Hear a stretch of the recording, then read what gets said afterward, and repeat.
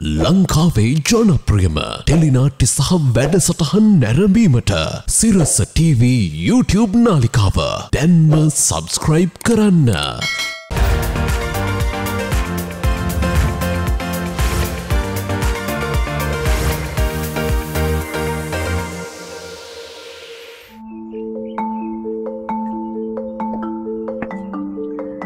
ආයිබුවන් සුබූදෑසනක්. සිරස කැදැල්ල චාරිකාවෙන් අද පැවෙල්ල ඉන්නේ කොළඹ අංගොඩ වල්පුල් ප්‍රදේශය පිහිටි සුන්දර නිවසකට. ඉතිං අපි මේ සුන්දර නිවස ඇතුළට ගිහින් බලමු.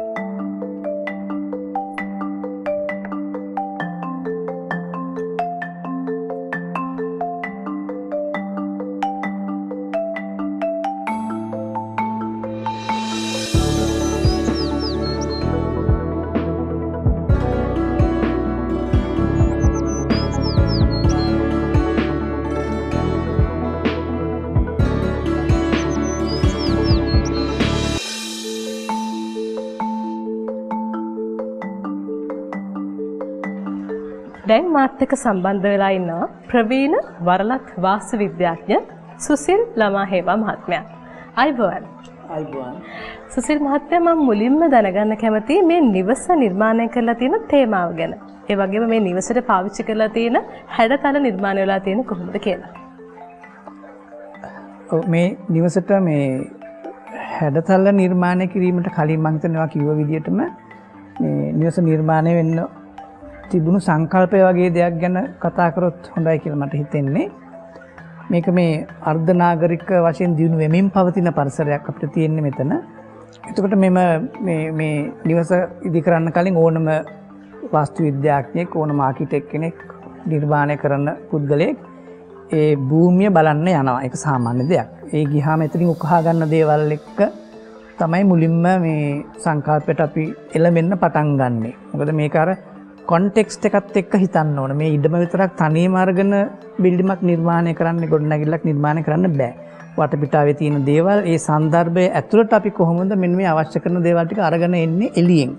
මේ ප්‍රදේශයේ තියෙන ගෙවල් දිහා බලපුවාම ඇත්තටම මේ තැනින් තැනින් තියෙන හැබැයි අලුතින් හදපු ගෙවල් ඔක්කොම තියෙන්නේ. මේ මගේ භාෂාවෙන් කරන් නිකන් අර පෙට්ටි පෙට්ටි ගෙවල් කිහිපයක් තමයි තියෙන්නේ. හැබැයි ඒ ලැන්ග්වේජ් එක අපේ රටේ දැන් ඒක ඉමර්ජ් වෙගෙන එන ලැන්ග්වේජ් එකක්.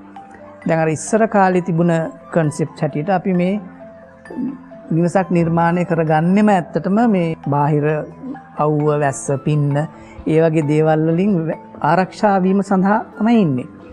එදා කාලේ පාවිච්චි කරපු මටීරියල් ඒ ද්‍රව්‍යත් එක්ක බලපුවාම අද තියෙන නූතන මටීරියල් නූතන ද්‍රව්‍ය වලට වැස්සට ඔරොත්තු දීමේ හැකියාව තියෙනවා අවුවට ඔරොත්තු දීමේ හැකියාව තියෙනවා ඒ නිසා සමහර විට සමහර අය මේ අගුවවල් එහෙම නැති ගෙවල් කරනවා. හැබැයි අගුවක් තියෙන ගෙයක් තිබුණොත් තමයි ඒක ලංකාවේ වාස්තු විද්‍යාව කියලා හුඟක් අපේ පැරණි වාස්තු විද්‍යාඥයෝ පෙන්වලා දීලා තිනවා. උදාහරණයක් හැටියට අපේ රටේ වැඩ කරා මේ උල්රික් ප්ලෙස්න කියලා ආකිටෙක් කෙනෙක් එතකොට අපේ අපේ ගුරුවරයෙක් වෙන අපේ ප්‍රවීණ කියන්නේ ලෝකෙටම නම ගෙනියපු බාව මහත්මයා ඒගොල්ලොන්ගේ හුඟක් බිල්ඩින් වල මේ අගුව කියන එක හොඳට ආරක්ෂා සහිතව අරගෙන තියෙනවා. හැබැයි දැන් මේ මේ කොන්ටෙක්ස්ට් එකේ මම දැකපු ගෙවල් වල එහෙම එකක් තිබුණේ නැහැ. හැබැයි මට ඒක ඇතුලේ ඉඳගෙන මට අවශ්‍ය කරන මේ ආරක්ෂාව සහ ද්‍රව්‍ය ආරක්ෂාවත් වැදගත්නේ. ඒකට අර ගෙදර මේන්ටනන්ස් එක අඩු කරන්න පුළුවන්. අපි පාවිච්චි කරන ද්‍රව්‍ය ආරක්ෂා කෙරුවොත්. ඒකට ඔන්න ඔය තේමාවල් ටික ඔස්සේ ඇවිල්ලා තමයි මේ මේ විදිය ගයක් මෙතනට නිර්මාණය වෙන්නේ. ඒකට මේක මේ මේ ගෙදර වහලක් එහෙම නෑ ඇත්තටම. ඒක ලොකු ප්‍රශ්නයක් වුණා මුලදී. නමුත් මේක මේ ඩිසයින් එක කරගෙන යනකොට ඩිසයින් ප්‍රෝග්‍රෙස් එකේදී එක අවස්ථාවකදී අපිට තේරුණා නෑ මේ ඩිරෙක්ෂන් සුත් එක්ක අපි යූස් කරන අමුද්‍රව්‍යත් එක්ක අපිට මේ ප්‍රශ්නට විසඳුමක් හොයාගන්න පුළුවන්. සහ අපි මේ කතා කරන වොලියුම් එක ගැන මේ මේ මේ ත්‍රිමාන අවකාශය ඇතුලේ තියෙන ස්පේසස් එක්ක මේ මේ කොම්ෆෝට් එක ඉල්ලන සැප පහසුව දෙන්න පුළුවන් කියන තැනට මම ආවා ආරම්භයේදීම.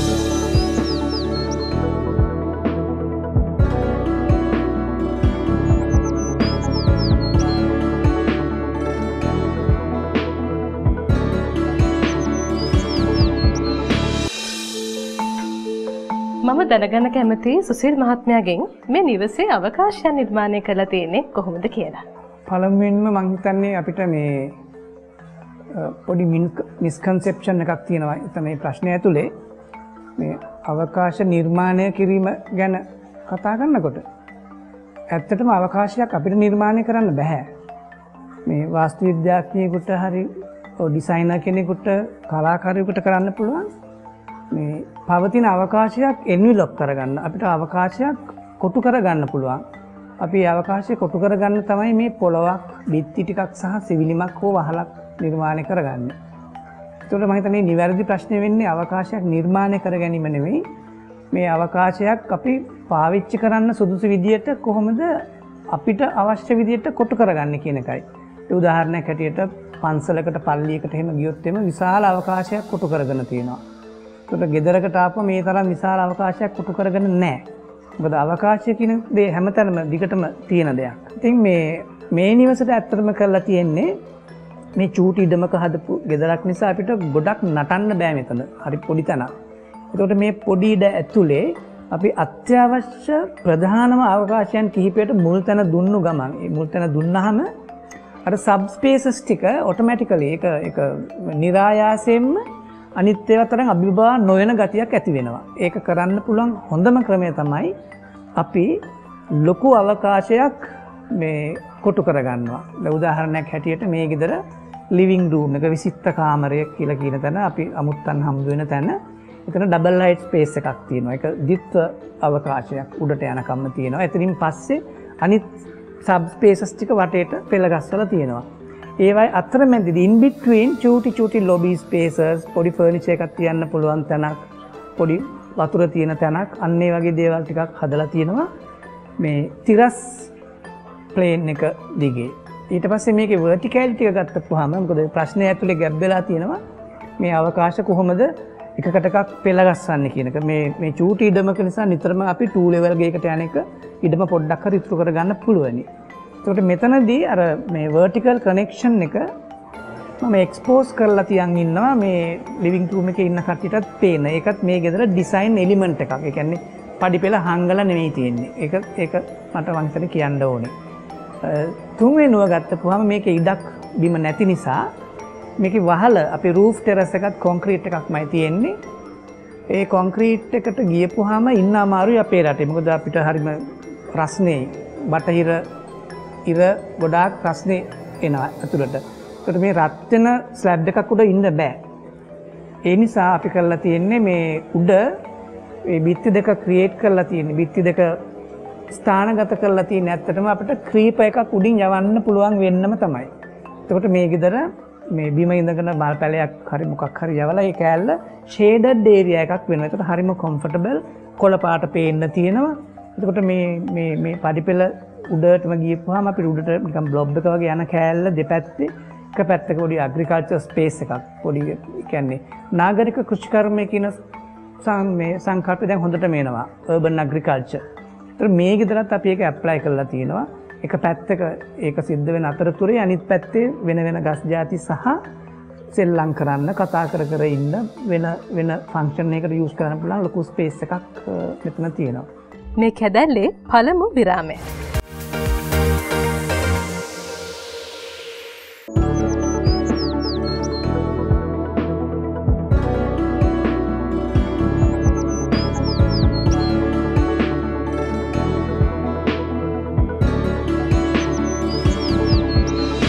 සුසිල් මහත්මය මට කියන්න මේ නිවස නිර්මාණය කරලා තියෙන්නේ අර්ධනාගරික ප්‍රදේශයක. මෙවැනි ප්‍රදේශයක නිවසක් නිර්මාණය කිරීමේදී සලකා බලන්න ඕන කරුණු මොනවාද කියලා.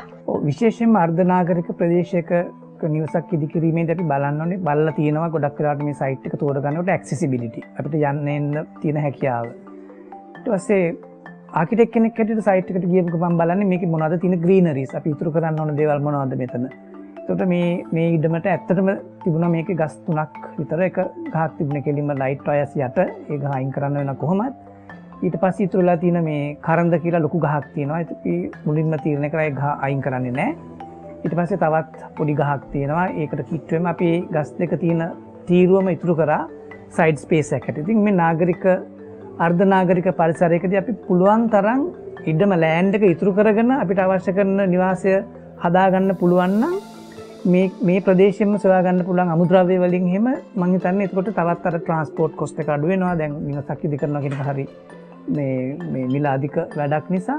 උඟක් ඈතින් එන්නේ නැතුව එහෙම ගන්න පුළුවන්නම් සහ වීස් මේ ගෙදරට අපි ඉන්නකොට මොනවද අපි දකින්නේ? ජනලක් ඇතිම දකින්න මොනවද? මේ අර්ධනාගරික පරිසර නිතරම හම්වෙන බිල්ඩිංස් ගොඩ නැගිලි ගොඩ නැගලි ගොඩ නැගලි බ අපිට පුළුවන්නම් මේ ප්‍රදේශ මේ භූමිය ස්ථානගත වෙලා තියෙන තැනට අනුව ඈතින් පේන කන්දක් අපිට වීවකට ගන්න පුළුවන්නම් එමනත්තං පාරක් දිගේ තියෙන වීව එකක් අපිට ගන්න පුළුවන්න ඒව හුඟක් මංතන ප්‍රයෝජනවත් වෙනවා ඇස හෝල් එකැන මුළු නිර්මාණයම දිහා බල්ද වෙලාවට. මේ නිවසේ වර්ණ භාවිතා කිරීමේදී යොදාගෙන ඇති නිර්ණායක මනවාද. මංහිතන මේකට උත්තර දෙනකට පමුදි කැමති ඒරි අස්තිකක් හම් වෙනවා. මුලින් කිව්ව වගේ අපි මේක මිනිමලිසම් ඔස්සේ ඩිසෑන් කරපු ගෙදරක්. එතට වැඩිපුර කලස් යස් කරලා නෑ පලවිනි හේතුව.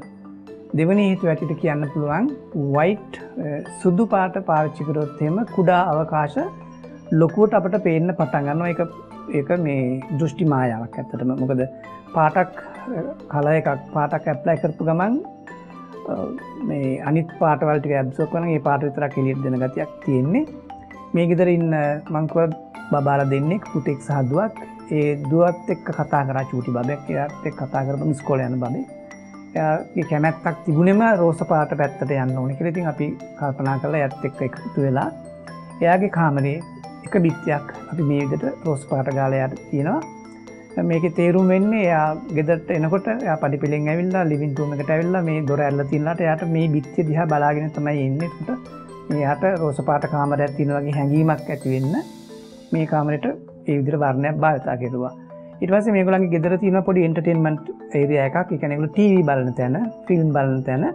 ඒ කාමරය ඇතුළේ අපි සම්පූර්ණයම අදුරු කරලා තින්න එක එක බ්ලක් රූම් එකක්. එතකොට පාටවල් තුනයි. සුදු. සුදු කියන වර්ණයක් නෙමේ එක නිියවට්‍රල් කලා කියලා කියන්නේ. තොට අපිට රෝස පාට තියෙනවා. කලු කියන වර්ණයක් නෙමේ අයිසරයක් එතකොට දැනට තින්නේ රෝස පාට විතරයි. නමුත් මේගෙදර එලියේ බෞන්ඩි වෝල් එකට සහ අවුට සර්ෆසිකට අපිට ඕන කිරවා මැටි වලට සමාන පාටක් කරගන්න. එක ඇත්තරම මීට කලින් කරපු එක්ස්පෙරිමෙන්ට් එකක ප්‍රතිඵලයක් හැටියට අපි මේ වියලි පස් කුඩු මෙහිති ලැට්රයිට් පොළොව එක වෙන් කරගෙන එක්ස්පෙරිමෙන්ට් දෙක තුනක් කරලා එක ඇඩිසිවි කද්දාල මිස්්‍ර කරලා එලිය ගාල බැලුහම මේ වැඩි සාර්ථකුණා තුර එලිය පැත්ත අපට තියෙනවා තද කහ පාට. හෝලා කහ පාට මේ ඒත් කල එකක් කම්බල තුර අපිට ඇත්තරම තියන්නේ කලස් දෙකයි. රෝස පාට සහ ලාකහ පාට විතරයිමකොද කළු සහ සුදු කියන්නේ වර්ණ නෙමේ තරමික වර්ණ තියෙන් තොර නමුත් ආලෝකමත් නිසා.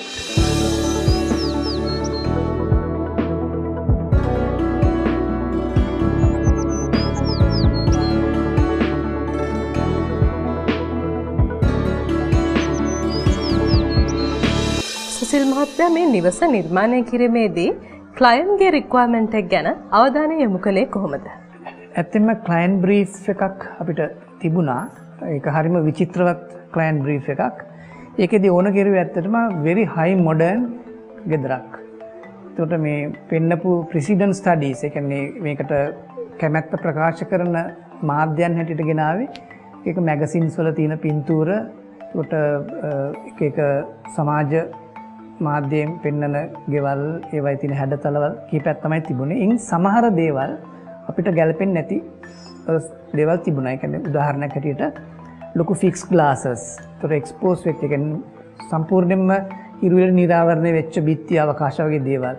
ඉට පස මෙතනදී මේ ආකිටෙක් කෙනෙක් හැටියට මම අපේ එම්පති පේසකේදී හොඳට කල්පනා කරන්න නතට කොහොම මේ කලයින්ට අවශ්‍යදේ අපි අපි දන්න දැනුවත් හරා මේ ලබා දෙන්න කියනක අන්න එතනදී මේක කොහොමත් මොඩර්න්ගයක් වෙන්න ඕනිස අපි මෙතන්ද එකඟ වෙන අපි කන්ටෙම්පරරි හවස් එකට යමු. කන්නේ මේ යුගේ තියන ගෙදරකට වීදුරු කිහිපයක් එම යස් කරලා තැනින් තැන මේක අවකාශ කොටු කර ගැනීමේදි තමයි මේකට දෙනර මේ නූතනත්වය ඇතුල් කරලා තියෙන්නේ.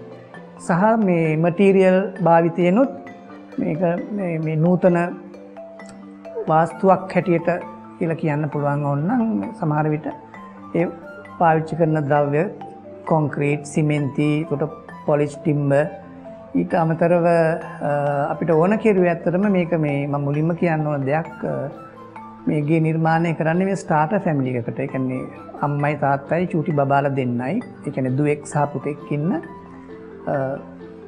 නියක්ලිය පැමිලි එකක්. වගේ. තොට නමුත් මේගොල්ලන්ගේ අදහසක් තියෙනවා දෙමවපියාපු හමත් ඉන්න තැනක් ඕනේ. විසිත කෙනෙක් අවත්තෙම විසි මේ කවුහරි ගෙස් කෙනෙකුට ඉන්න තැනකුත් ඕනේ. ඔය රික්වයමන්ට් ලිස්ට එකම තියෙනවා. තොට අපි ඕනම සේවාදායකගෙන් හන ප්‍රශ්නයක් තමයි ගොලන්ගේ විවේකී වැඩ කටයුතු මොනවාද කරන්නේ? ඒගොලන්ගේ එදින්දා වැඩ කටයුතු මොනවාද? තොට මේ මේ ගෙදර මගේ සේවාදායක සහුගේ බිරිඳ දෙන්නම ප්‍රෆෙෂනල්ස්ලා එගොල්ලෝ වෘතියවේදීන් දෙන්නම ඉංජිනියරින් කරපු පුද්ගලිකාංශයේ රැකියවල් කරන අය. ඒගොල හරිම කාරය බහුල ජීවිතයක් ගත කරන කට්ටිය. ඒ අතරෙදී මේගේ නිර්මාණය කරන වෙලා විදිතමෑර ඔන්ලයින් ඔක්කොමෙන්න අපේ රටට කෝවිඩ් නිසා. ඒකත් මේ ගෙදරට බලපෑව. මොකද මේ වෙනම ස්ටඩීරූම එකක් හදාගන්න ඕනේ. මේගොලන්ගේ අර මේ නිවාඩු පාඩු ඉන්න වෙලාවට ෆිල්ම් බලන්න තැනක් ඕනේ. ති අපි ඒකට වෙනම වෙනම අවකාශයක් අපි ගොඩ්නගාගත්තා මේ ෆිල්ම් බලන්න තුළ රූපවාහිනි නරඹන්න කාටවත් කරදරයක් වෙන්නේ නැත්තුව. ඒ ඒ සමගම මේ ගෙදර එක වෙලාවකදී මේ කාර්යන් හතරක් සිද්ධ වෙන්න පුළුවන්. පාඩන් කරන්න පුළුවන් කට්ටියකට ෆිල්ම් එකක් බලන්න පුළුවන්. ෆැමිලි එකක් ඇවිල්ලා මේ ගෙස්ල ගොඩක් ඉන්න ඉඩ තියෙනවා. ඒ අතරතුරේදි රූෆ් ටොප් එක තව එකක් යන පුළුවන්. එකට එකක් වෙනස් කාර්යන් කිහිපයක් එකවර සිද්ධ වෙන්න පුළුවන් කිසිම ගැටීමකින් තොරව. එහෙම අවකාශ කිහිපයක් මේ චූටි ඉඩ ඇතුළේ නිර්මාණය කරගන්න සමත් වුණා. මෙතනදිම ඊළඟට කියන්න ඕන හැම ලේකකම පර්පස් එකක් තියෙනවා. ග්‍රවන්් ෆ්ලෝ එකේ. එකන අපේ බිම්ම හලේ තියනේ සර්විස සේරියයක කෑම කන්න ඉරියව් උයනේවා ටික. ඒ ටික තියෙනවා. දෙවන ලෙවල් එක. එකන්නේ ඊළඟ ලෙවල් එකේ තමයි මේ ගෙදර කෝ එක තියෙන එතන තමයි ෆැමිලි හබ් එක තියෙන්නේ. ඒ ෆැමිලි එක ඔක්කොම ඉන්නේ පළවෙනි තත්ත්වයේ තමයි. ඒගොල්ලෝ පඩිපෙලක් උඩට ඇවිල්ලා ඉන්නවා. එතකොට මේ මේ මගේ සේවාදායකයා ගෙදර ඉඳන් ඔන්ලයින් වැඩ කරන වෙලාවට එයාගේ වැඩ කරන තැනට මුළු ගෙදරම පේන විදියට තමයි මේ අවකාශ ටික හැඩගස්වගෙන තියෙන්නේ. මේ කැදැල්ලේ දෙවෙනි විරාමය.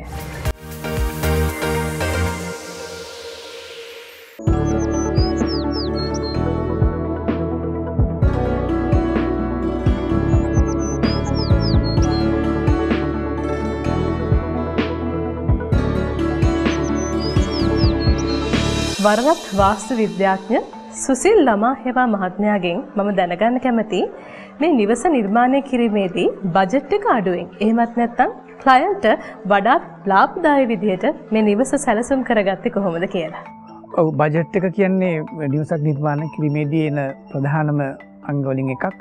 සෝ මේ කියන්නේ අපේ සේවාදායකයා කවුද? ඒ ඉඩම තියෙන්නේ කොහේද? ඊළඟ ප්‍රශ්න තමයි බජට් එක. කියකින්ද නිවස් නිර්මාණය කළ ඉවර කරන්නේ? මෙතැදි බජට් එක කඩ්ඩවන් කරනවාට අපි මේක අර ෂෝට් කට්සට යන්න නැතුව මුලින්ම තීරණ කෙරුවොත්තේ ම මෙ මේ විද සංකාපයක් ඔස්සේ යන්නේ. අඩු වියදමින් කරන්න මොනවාද කියල මුලිම හිතාගන්න ඕන. එක නිසා තමයි මේ මිනිමලිසම් කන කන්සෙප්ට ගිහිල්ලා තින්නේ. ඊට අමතර මේ ඉඩ මේ මේ අත්තිවාර්ම කරන වෙලාවෙදි අපිට හමුවෙන මේ යට තව අත්තිවාර්මත් තියෙනවා. තොට ඒ වෙලාවෙදී ඒ අත්තිවාර්ම බැලුහම මේ කබොක් ගල් තියන්න ඩෙස් අපිකන් ඩෙස්ටෝන් වගේ එක ලැට රයිට් හරිම හයියයි ඒව ටිකක් අපට අප යස් කරන්න පුළුවන් වුණා. මේ ගෙතර සමහර තැන්වල ඒ ගල් වගේ දේවල් හොඳටම යස් කරලා තියෙනවා. කබොක් ගල් බැම්ම එක එකක්. දෙක අඩු වර්ණ භාවිතය. ඒකෙන් ලොකු මුදලක් අප ඉතුරු කරගන්න පුළුවන්. තුන් වෙනුව අපි මේ රීසයිකල් කියන කන්සෙප්ට එක හිටිය ඇතරම මුලින්කිවවාගේ මේ කන්සෙප්ට රීසයිකල් කන්සෙප්ට එකක් අපි මෙතර රීසයිකල් කරපු මේ දොරජනයල් කිහිපයකුත් භාවිතා කරලා තියෙනවා ඒකනුත් තව මේ මුදලක් ඉතර කරගන්න අපට පුළුවන්කම තිබුණා. අපි මේක ට්‍රයිල්ල නෙර කරපු ගෙදරක් නෙමෙයි. ගොද මේකතිගේ මේගේ ඩිසයින් කරන්න සෑහන කාලයක් ගිය. ඊට පසි තිට හදන්න විතරයි. ඇබැ අපි අඩු කාලයක් කරගන නිවසක් ඩිසයින් කරලා අඩු කාලෙකින් ඩිසයින් කරලා හදන්න ගන්නකොට මගද එක චේන්ජස් එනකට හදනවා කඩනවා හදනවා කඩනවා. මේ ගෙතර හෙමකක් වුණේ නෑ කවදාවත්. වැඩි කාලයක් දැම්මේගේ ඩිසයින් කරගන්න. අන්නේ ඒ ප්‍රෑරිටික දුන්නොත්තෙන් ඩිසයින් එකට මහිතන ලොකු මුදලක් අවසාන ඉතිර කරගන්න පුළුවන් කන්ස්ට්‍රක්ෂන් එකේදී. අපි ඒක මහිතන මෙහිද හොඳට මැචී කරලා තියෙනවා.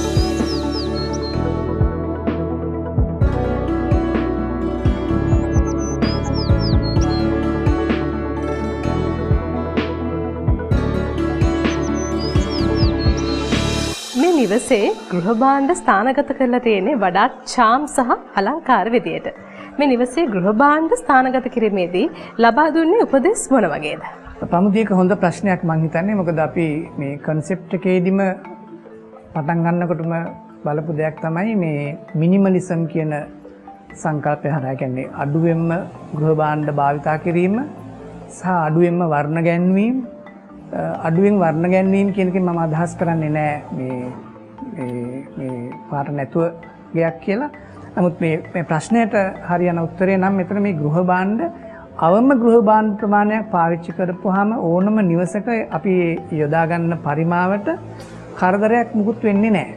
මේ එතකොට තව විදිකින් කියනවා නම් මේ බඩු ගොඩක් ළඟළඟ ගොඩාක් තිබ්බොත් මම හිතන්නේ ඒක ඩිස්ටර්බ් වෙනවට වැඩි එක යූස් කරන්නත් බැරුව යනවා. ඒක භාවිතා කරන්නත් බෑ. මොකද සමහර ඒවා අයින් කරන්න ඕන පාවිච්චි කරන්න.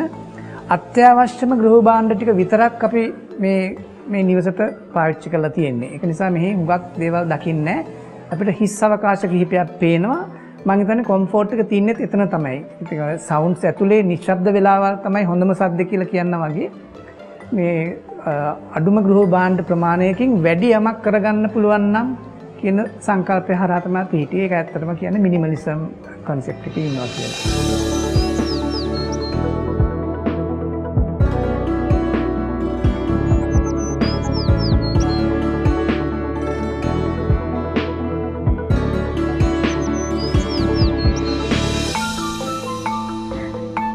අදදාසේදී අපි සුන්දර කැදැල්ලක් ඔබ වෙත අරගෙනවා.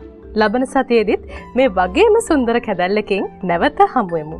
මේ නිවාස සිහිනයේ ටෙලිවිෂන් අත්වල සිරස කැදැල්ල.